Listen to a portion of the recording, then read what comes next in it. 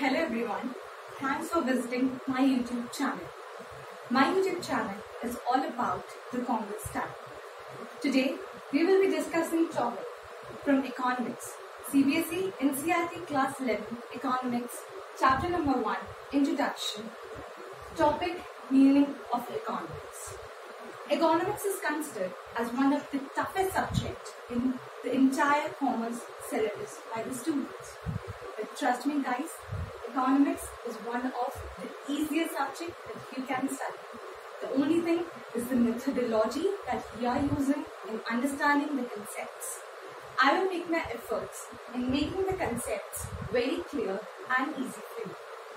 So today we will be discussing meaning of economics. What is basically economics? हम हमेशा सुनते हैं the word economy and economics, right? Economy is something that we are surrounded with. We consider economy as entirely as something related to money. And economics is nothing but the study of how the resources, the scarce resources, are being allocated in the, uh, the different sectors of the economy in order to obtain the highest level of satisfaction. This is what is the definition of the economics written on the board. Economics is a social science of human behavior which aims at allocation of scarce resources in such a way that consumers can maximize their satisfaction, producers can maximize their profits, and society can maximize social welfare. Now this is a definition, a very static definition.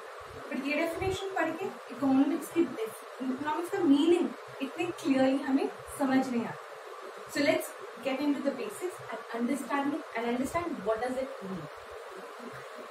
If we go, uh, for example, let's take example of a student itself. If I have 100 rupees, so my resource here is rupee 100, right? I have 100 rupees, so my resource is 100 rupees and I have different desires if my desire is that I want a book, I want a pen, I want a pencil, I want chocolates, I want to join tuitions, I want to see a movie, and so on. Now, as a student, I want to do all those things. I want a book, I want a pen, I want a pencil, I want a chocolate, I want to go to and I want to watch a movie. But I have only 100 rupees. Now, out of this 100 rupees, either I can buy a very good book, I can buy a very branded pen, I can buy a couple of pencils, I can buy a chocolate, a big chocolate. I cannot join a tuition, of course, and movie tickets feasible. Now the question comes that I have limited resources, I have unlimited desires, but through these limited resources, how am I gonna satisfy my desires, right?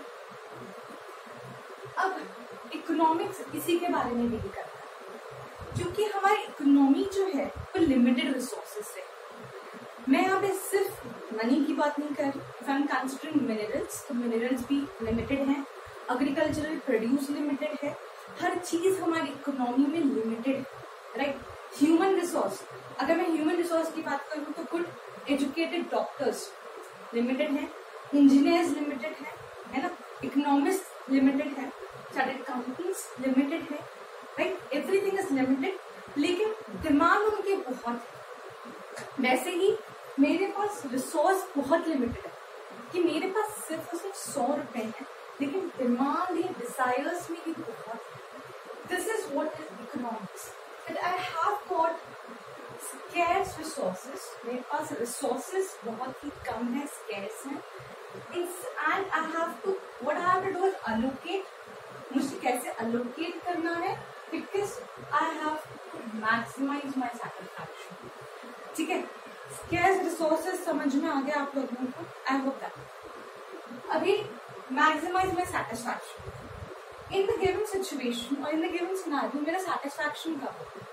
I will be satisfied अगर मैं book भी ले पाऊँ, मैं pen भी ले पाऊँ, मैं पेंसिल भी ले पाऊँ, मैं चॉकलेट्स भी ले पाऊँ, मैं ट्यूशन भी जा पाऊँ, मैं मूवी भी ले पाऊँ, अब मैं ये सब कुछ कर नहीं सकती। I can only pick out a couple of things मैं इनमें से एक कपल ऑफ़ थिंग्स ही पिक आउट करके मैं अपने रिसोर्सेज से वो फुलफिल कर सकती तो मुझे यहाँ पे क्या करना होगा? अलोकेशन सो आई होप कि स्कैर्स रिसोर्सेज की डेफिनेशन आप सबको समझ आ गई होगी।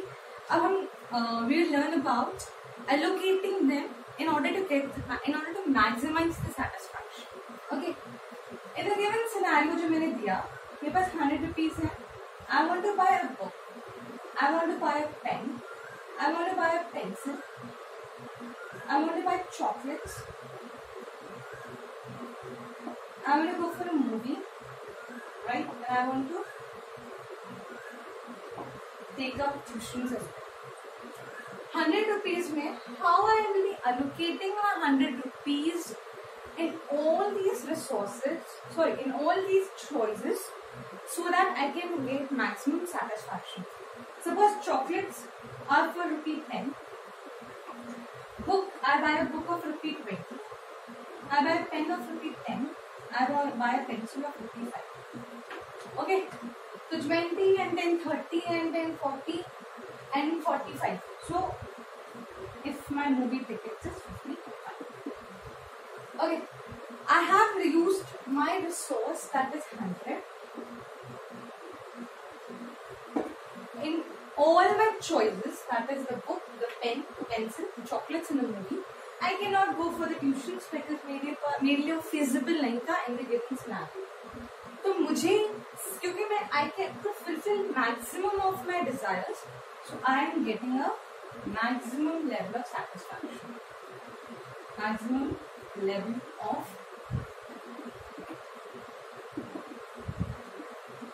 satisfaction. Why I am getting a maximum level of satisfaction? Because मेरे limited resources में मैंने अपनी maximum desires fulfill की. Now this is from the point of view of a consumer. Okay. Who is the consumer? A consumer is a person who consumes goods and services. ठीक है? इतना आप सबको पता है। क्योंकि मेरे पास हंड्रेड रुपीज़ थे और मुझे book and pencil and pen and ये सब मुझे खरीदना था। एंड खरीद के इन्हें ऑब्वियसली कंज्यूम करना था। मूवी की टिकट्स लेके मुझे मूवी देखने जाना था। So it is pretty clear that I am consumer ठीक है? So meaning of economics is being divided into three categories from the point of view of the consumer from the point of view of the producer and from the point of view of the society तो consumer से समझ में आ गया? When is a consumer satisfied when economics को हम consumer के point of view से ले सकते हैं? जब उतने स्केच रिसोर्सेज से अपनी मैक्सिमम चॉइसेस को फुलफिल कर सके maxim level of satisfaction attain कर सके। Okay now let's understand it in regard to the point of view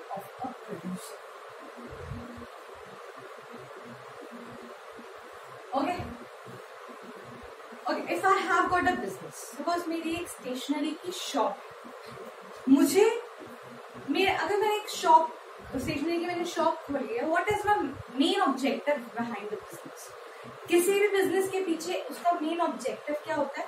Profit earning profit earning right so as a producer producer is a person who produces goods and services ठीक है? Businessman को भी हम producer की definition में ही include कर रहे हैं इस पर्टिकुलर सिचुएशन में। So as a producer my main objective is to earn profit so when will I be satisfied if I am producer तो मेरा सेटिस्फैक्शन कब होगा? When I get maximum profit so as a consumer, I want, I have scarce resources. I want to allocate the scarce resources in such a way that I get maximum level of satisfaction. A producer can maximize the profits. A producer can maximize the profits because a producer को सिर्फ़ और सिर्फ़ profits ही चाहिए mainly, majorly. And third is the society. जैसे मैंने कहा definition is being divided into three categories. From the point of view of the consumer, from the point of view of the producer and now from the point of view of the society society को क्या चाहिए? Social welfare ठीक है?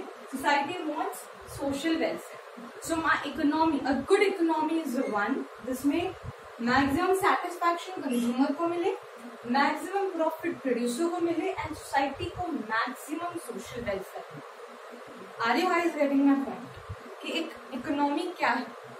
Economy is all about these three basic categories consumers producers and society consumers को क्या मिले? Maximum level of satisfaction producers को क्या मिले? मैक्सिमम प्रॉफिट एंड सोसाइटी को क्या मिले? Maximum social welfare okay Okay, now let's revise the definition once again. Okay, I will be rubbing out everything and then हम definition revise करेंगे.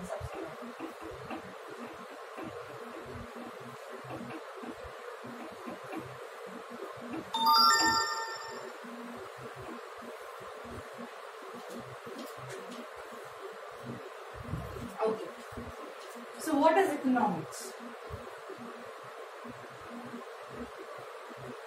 What is economics? Economics is the study of human behavior.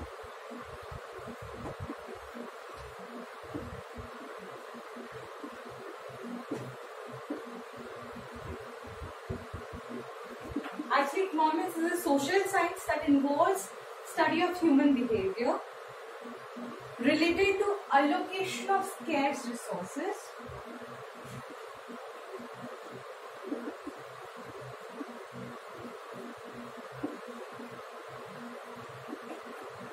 allocation of scarce resources in such a way that consumers can get maximum satisfaction, maximum level of satisfaction, right? Producers can get can maximize the profit, so can get, get maximum profits, and society can get maximum social welfare. So whenever you are asked about the meaning of economics, let's split the definition of economics into three categories. One thing it is the study of the human behavior which involves allocation of scarce resources so that the consumers can get maximum level of satisfaction, producers can get maximum profits and society can get maximum social welfare.